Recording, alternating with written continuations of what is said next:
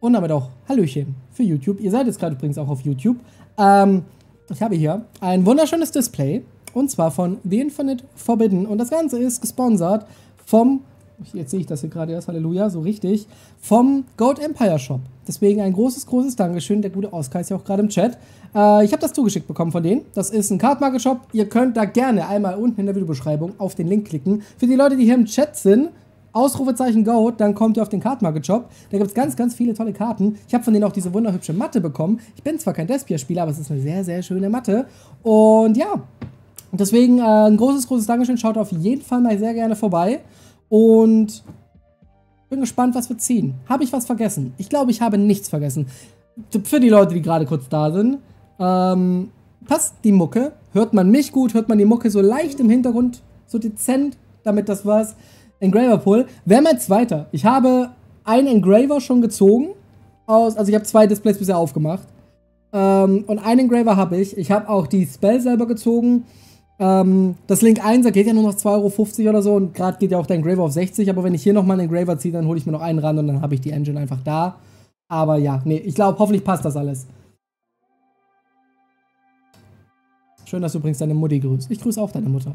Äh, nein, so, aber ich, ich glaube, ich habe nichts verpasst. Ich glaube, Oscar ist auch da, deswegen äh, Grüße gehen raus. Schaut da, wie gesagt, sehr gerne vorbei. Guckt auch gerne bei The Wayne in Streams vorbei. So, keine Ahnung, wir werden heute Online-Local spielen mit einem Deck, das ich sehr, sehr ins Herz geschlossen habe. Deswegen, ja, Sound passt. Dann haben wir doch das optimale Setting.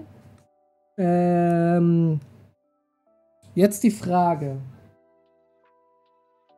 Habe ich hier irgendwo... Da ist mein Kuli. So.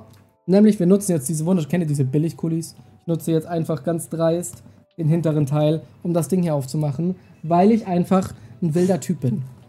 Wir überarbeiten gerade unseren Bestand stark. Wenn ihr was nicht findet, so oder einfach anfragen. Sehr gut, guckt, da ist der, der, der Oscar auch drin. Schaut da, wie gesagt, gerne einfach mal vorbei. Ähm, das ist definitiv sehr cool. Müsste auch, ich glaube, das Logo müsste ich ja hoffentlich eingeblendet haben, oder? Ich warte mal kurz, das müsste links oben in der Ecke eigentlich immer automatisch erscheinen. Wenn ich nicht verkackt habe, das Problem ist, die Wahrscheinlichkeit, dass ich verkackt habe, die ist leider immer da, weil, weil ich halt leider, ich, okay, nein, ich habe es geschafft, guck mal, da ist es doch. Da ist die geile Ziege. Ähm, so, Seid ihr ready? 24 Booster. Es war leider hier oben ein bisschen angetischt, das wurde mir schon mitgeteilt, das ist aber voll in Ordnung. Denn wie wir sehen, das Display hat auch absolut nichts abbekommen. So, packen wir das einmal hier raus. Packen das einmal hier hin. Äh, da ist mein Trinken, das brauche ich für nachher definitiv. Aber bei dem Wetterkinders hydriert bitte, hydriert. Du hast den Monat absolut verkackt. Wundervoll. Let's go rein in den Gamba. Okay, ich hoffe, ich schaffe es auch dran zu denken, dass ich das ein bisschen weiter links halte. Sonst wäre das ein bisschen doof. Wir machen natürlich den harten Trick. Guck mal, wir haben Direktsequenz. Das ist doch ein gutes Zeichen, oder? Äh, ich hoffe, man sieht es auch gut. Wenn was nicht passt, sag gerne Bescheid. Dann haben wir auch Unterweltteller Reflekt. Stimmt, die ganzen Millennium Eyes. Ach, by the way, weil ich gerade noch, weil Flo gerade hier ist. Hallo Flo. Ich habe ja noch mehr Karten bekommen. Äh, ich habe jetzt noch ich habe dreimal die Lohe, den Schild und Sengujin. Also die kann ich dir gerne mitbringen zur Arbeit. Nur, dass du schon mal Bescheid weißt. Und je nachdem, was ich jetzt eventuell noch ziehe. Weiß nicht, vielleicht brauchst du davon irgendwas nicht. So, nur damit du da schon mal Bescheid weißt. So, haben wir das Ding. Eine Fledermaus. Moin Knight, by the way. Emblemalösung. Light End Sublima äh, Sublimationsdrache. Lichtend. Warum sage ich Light? Das ist auf Deutsch, Bruder. Kurz vergessen. Und dann haben wir Gimmick-Marionette. Fantastics Machinix. Stimmt, da habe ich, glaube ich, einen Joke gemacht, dass das klingt wie ein fucking Gallier. Aber ich packe das mal kurz hier hin. Die kommen dahin. Aber ja. Gimmick-Marionetten, so Bruder. Nee. Können auch nix, no offense, aber die können halt. Ja, machst du nix, trifft's gut. Äh, die können, glaube ich, auch nix, abgesehen von FTK, ne? So, don't know. Äh, mag die persönlich nicht unbedingt. Ähm, das einzige Panel-Monster, da haben wir Lacrima dass die Karte auch einfach noch eine, eine Time-Karte ist, ne? Digga, hasse alles. Wenn in der Tin nicht der originale ähm, Skull Guardian drin ist, dann ergibt das keinen Sinn, dass es diese Karte gibt. Ich bezahle doch nicht 350 Euro für eine TP2-Karte, die 2002 rauskam und einen Reprint bekommen hat. Like for real. Das ist kein Skull Guardian Monster, das ist das holt nur den originalen Skull Guardian. Das ist so ein fucking Bullshit. Ich mach das definitiv nicht. So, da haben wir es im Sankt, Magit Dolch Mini und die erste Ultra. Unheimliche Seele vom Weißen Wald. Vielleicht, ich weiß nicht, ob das Ding das noch braucht, aber da willst du es ja, glaube ich, nicht mehr holen. Warum heißt die Erzila? Arzila? OTRs kommen. Es ist tatsächlich ein OTR Rare. Das ist eine Rare, weil offensichtlich sind dann 350 Euro okay. Arsila, unheimliche Seele vom Weißen Wald als erste Ultra. Ich nutze gleich mal die Hüllen, die ich mir zurechtgelegt habe. Zumindest für die Ultras macht man das. Ja, Weißer Wald. Keine Ahnung, ob das Deck großartig was kann. Ne? Also, ich habe mich mit dem Deck tatsächlich nie beschäftigt. Aber Yugi-Spieler lesen auch nichts. Dementsprechend ist das voll in Ordnung. Aber erste Ultra. Guck mal, da haben wir Ragnar Reika, die hier nochmal ein bisschen Support bekommen haben. So, und jetzt habe ich eine Frage. Die Liga der uniformen Normen... Warte, warte, warte. Die Liga der uniformen Nomenklatur streikt. Ist das eine Anspielung an die Liga der außergewöhnlichen Gentlemen? Ja, das Top 64 ist halt, keine Ahnung, packt zu allem Runic rein, dann hast du Josh. Äh, nein, ist das eine Anspielung an die Liga der außergewöhnlichen Gentlemen vom Namen her? Das würde mich sehr interessieren, weil ich habe da schon mit Liam ein bisschen drüber philosophiert, ob das eine Anspielung sein könnte. Aber, ja. Es ist, by the way, keine Ojama-Karte, die ist nur drauf. Es ist halt, glaube ich, kann in Ojamas verwendet werden, aber es ist nicht explizit eins. Der, oder wie Liam sagen würde, der komische Baum Irmistil. Danke. Lichtend haben wir nochmal. Nutu, den werden wir heute definitiv auch benutzen. Magidolce Mini. Und dann haben wir Ragnar Reika Bösschmetterling als Super. Ich glaube, Ragnar Reika hat hier auch nur noch Super Support bekommen, oder? Die haben, glaube ich, keine Ultra. Ich glaube, die haben keine Ultra. Können wir heute nicht einfach eine, eine, einen Graver Quarter ziehen und dann verkaufe ich den und hole mir dafür einfach beide? Das wäre doch fair. Sequenz nochmal. Drei als einer. Kosmo-Königin, die Königin der Gebete. Vulmina. Doradora. Schon 10. Wir sparen uns jeden Witz. Besi, beste Karte. Besi ist beste Karte, ich schwöre. Wer auch immer auf diesen Namen gekommen ist, beste. beste. Interdimensionaler Materieversender. Und dann haben wir Unterweltler Schmied im Paradies. Die haben eine Trap. Wähle ein Nicht-Unterweltler-Monster der Stufe 7 oder höher, das du kontrollierst. Legale Karten äh, auf dem Spielfeld, die nicht jenes Monster sind, auf den Friedhof. Das ist actually not bad. Falls dein Gegner ein oder mehr Monster als Spezialbeschwörung beschwört, solange sich diese Karte in einem Friedhof befindet, du kannst diese Karte verbannen. Legale Unterwelt, das schmied Monster in einem Deck oder extra Deck auf den Friedhof. Du kannst jeden Effekt nur einmal pro Spielzug verwenden. Legit, das ist, ich meine, ja, es ist ein Themendeck und man benutzt es bis jetzt nur als Engine so, aber das ist halt echt nicht bad. Du wählst einen Unterweltler der Stufe 7, Lichtunterweltler Stufe 7 oder höher aus und alle anderen Karten werden auf den Friedhof gelegt, was halt auch noch, was halt basically Zeus ist. Das ist halt gar nicht bad. Das ist halt indeed gar nicht bad. Musst du zwei Quarter Engraver ranholen? Ganz sicher nicht. Ich bin, ich bin, was das angeht, Budget. Ich ähm, hole mir nur höhere Rarities, wenn sie nicht viel kosten. So, ich habe jetzt Droll geupgradet auf Secret, weil es nichts gekostet hat. Aber wenn ich die Wahl habe zwischen einer 30-Euro-Karte und einer 2-Euro-Karte, die ein Common ist, dann nehme ich die Common. Ich habe ewig lange mit Commons äh, Ash gespielt, bis ich mir dann irgendwann mal die, äh, die Parallel Secret Tins aus der Tin geholt habe. Luftiger Fresser haben wir noch. DPS Gennamore, Sangenkayo und Drachenherrscher des Lichts und der Finsternis. Den habe ich jetzt auch schon zweimal, den habe ich auch schon mal gezogen gehabt. Auch eine schöne Ultra. Mal gespannt, ob äh, mit denen tatsächlich ein bisschen was gemacht wird. Aber zweite Ultra haben wir tatsächlich schon. Ziehen schnell viele Ultras. Die Hälfte ist schon durch. Dadurch verliert Desiree seine Materialien und hat keine Negates mehr. Es ist ja auch so ein Backup-Plan. Es ist halt ein Backup-Plan. Also wie gesagt, bad finde ich es jetzt nicht. Aber es spielt halt nicht in der Engine. Vor allem ist die Karte überhaupt wirklich searchbar. Also ja klar, offensichtlich mit Engraver so. Aber trotzdem. Flammendes Bombardierungsungeheuer. Das ist, glaube ich, irgendeine Manga-Karte. Die wurde im Manga, glaube ich, benutzt. Villa der grässlichen Puppen. Ich hasse viel Spells, bei denen äh, die, die, die ein Monster unaffected bei irgendwas machen. So ein fucking hasse ich schon genau so bei, ähm, bei Tenpai. So ein fucking Bullshit. So, ja, komm, die einzige Möglichkeit, wie man solche FTKs aufhalten kann, ist durch Handtraps. Lass die mal, lass die mal immun gegen Handtraps machen. Leiden vom Weißen Wald und ketzerischer Phobos Kovos. Der Name ist auch Bombe. So, weiter geht's. Ja, ganz ehrlich, die Wahrscheinlichkeit überhaupt noch eine Quarter zu ziehen. Ich habe aus zwei Displays schon eine gezogen. Ich weiß noch, als Liam und ich die, das Opening aufgenommen haben, äh, das eine für meins und für seinen Kanal und wir aus zwei Displays, Grüße gehen übrigens raus an äh, den guten äh, Zefcat, der hat gesagt, Er hatte mich gefragt, welche zwei willst du? Ich so, nimm einfach irgendwelche. Und er hat mir zwei gegeben und beide hatten eine Quarter. War sehr schön, war sehr schön. Äh, Abendstern Girsu, Magidolce Dessert, Schockergarnele. Bombenname wieder. Ritter bewaffneter Drache, der gerüstete Ritterdrache. Weil einmal nicht reicht. Nekorust Prinzessin, beste Karte EU West. Gimmick Marionette, kleine Soldaten. Und Silhouette Hase, jetzt habe ich den schon wieder als erstes Secret Rare. Der Silhouette Hase, den habe ich jetzt zweimal, also keine Ahnung. Jetzt kann ich den einmal verkaufen, weil den brauchst du nur auf eins. Aber erst das Secret Silhouette Hase. Ist eine sehr coole Karte. Und die Karte macht es jetzt auch definitiv cooler, wenn permanente Traps rauskommen, die du halt als Monster rufen kannst. Silhouette Rabbit Outed Field Spell. Ja. Und was machst du, wenn du Ghost Second gehst?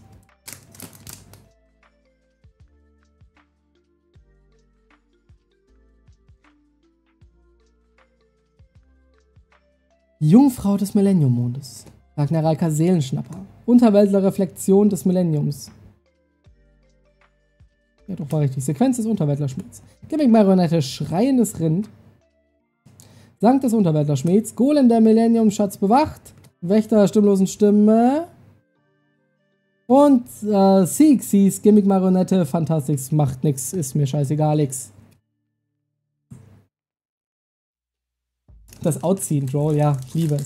Aber kennt ihr Leute, die wirklich, also bei dir ist es ja offensichtlich Spaß so, aber kennt ihr die Leute, die wirklich als Argument benutzen, eine Karte ist ja nicht OP, weil du kannst sie ja wegkaijun? So soll ich jetzt 20 Kaijus im Deck spielen, damit ich eine Karte outen kann? Ist das der Play? Ja, zieh doch das Out. Zieh einfach das Out. Jede Karte hat ein Out. Der Goon war auch kein Problem, keine Ahnung. Alles gar kein Problem. Einfach das Out ziehen. So, und... Zweites Secret direkt, und zwar LZ vom Weißen Wald. Jetzt haben wir aber sehr schnell alles zusammenbekommen. Ich glaube, das ist tatsächlich so ein bisschen eine Money-Karte. Ich weiß gerade nicht von den äh, weißen Waldkarten, wie viel die davon geht. Aber jetzt haben wir eine davon. Sehr cool. Das heißt, wir haben noch zwei Ultras oder natürlich eine Quarter. Wenn der Wald weiß ist oder so. Ist er das? Ist der Wald weiß? Ist der nicht eigentlich grün-braun? So, mal gucken. Ziehen jetzt eh eine Quarter. Alles easy. In dem Pack ist jetzt eine Quarter drin. Ich sag's. Oh, guck mal, Mond ist geschlossenen Himmels.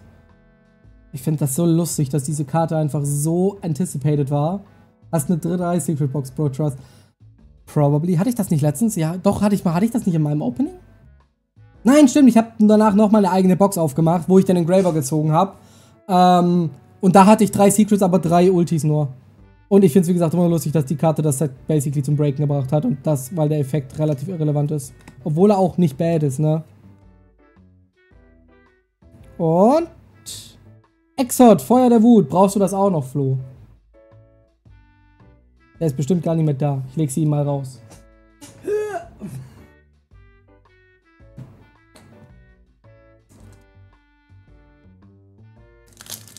So.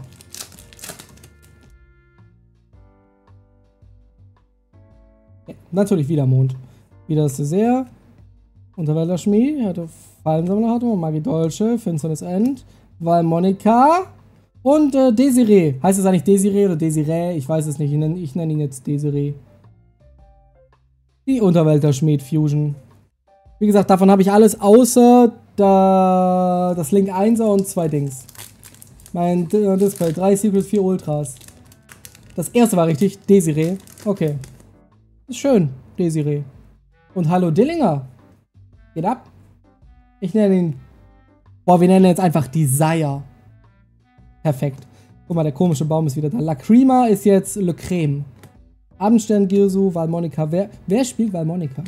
Äh, Meteor... Oh gut, Meteor Drytron. Wer spielt Drytron? Easy, beste Karte. Zauberkarte Seelentausch. Liam würde jetzt einer abgehen.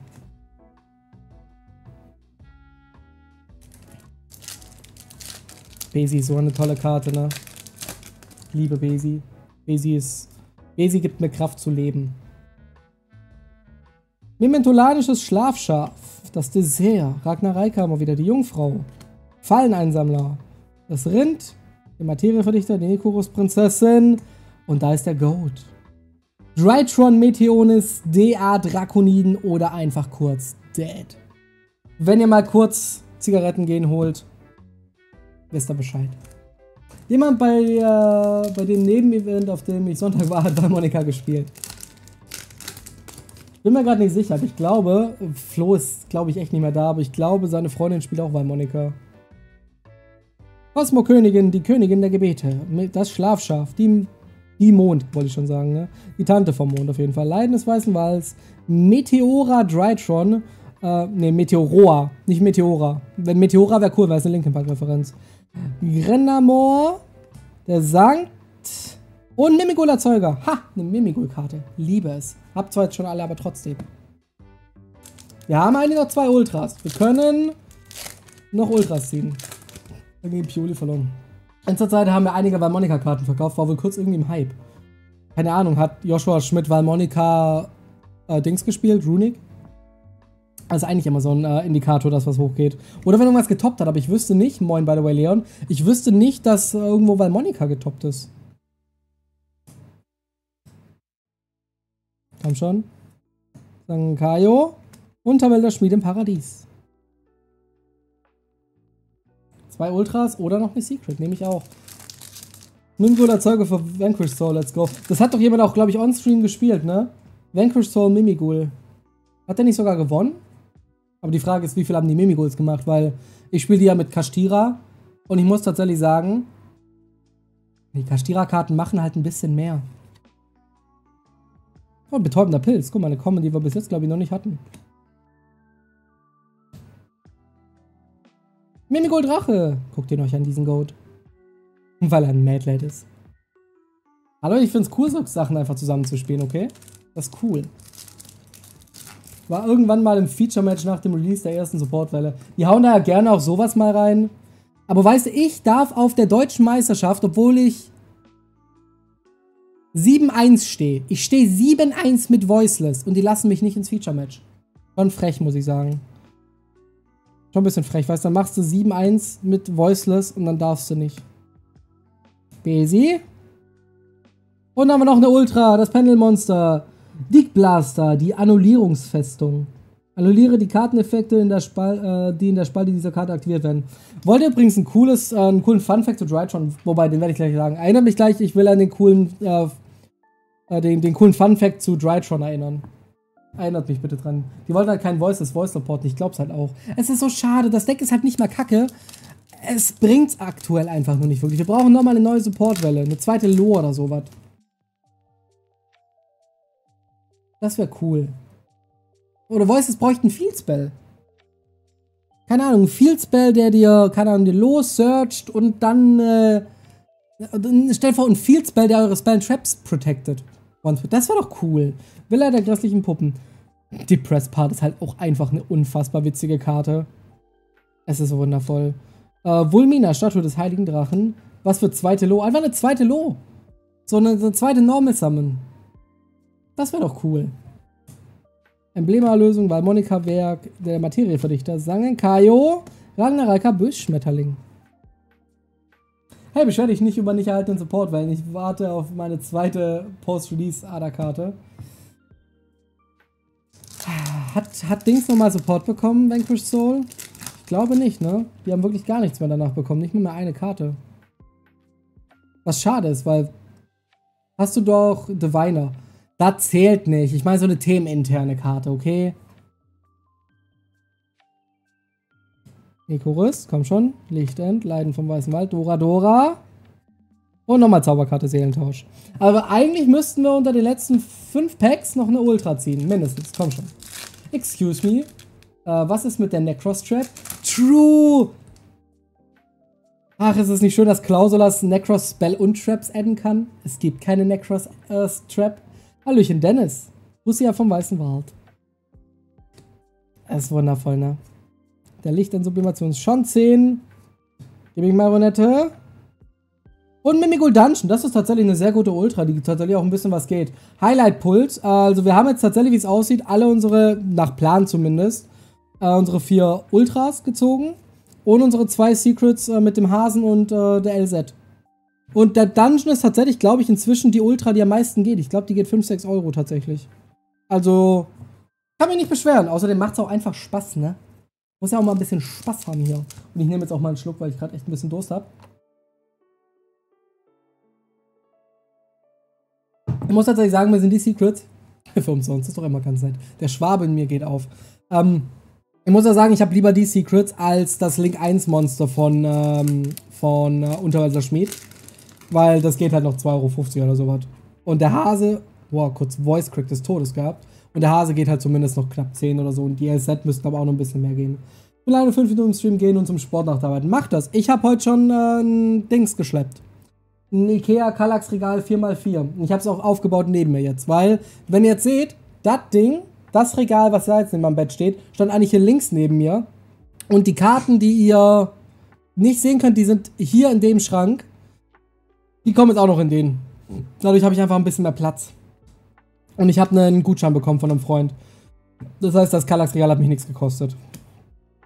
Das war sehr schön. So, Nikorus Prinzessin Sylvie. Und auslöschen Lohe. Cool, jetzt habe ich die nochmal, die super. Jetzt habe ich, ich, Bruder, ich kann Flo alles geben einfach.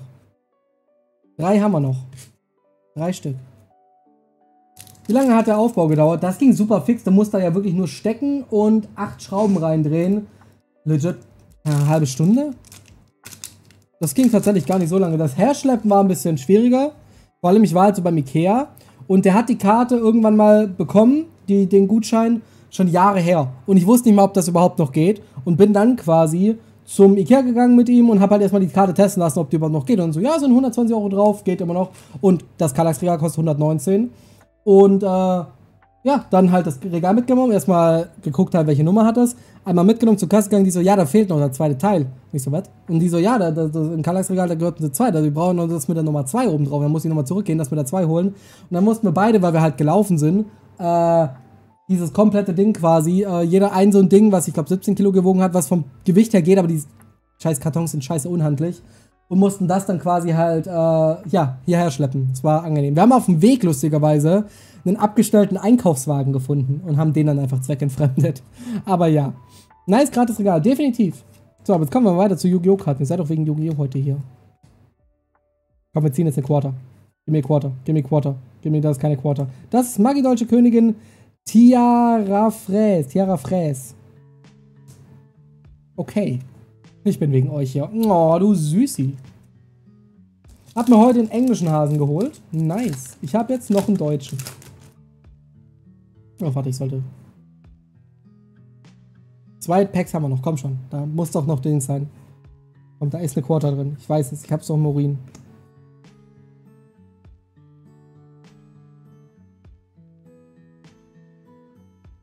Zauberkarte Wiedergeburt haben wir. Die haben wir zumindest noch nicht gehabt. Okay, letztes Pack, Leute.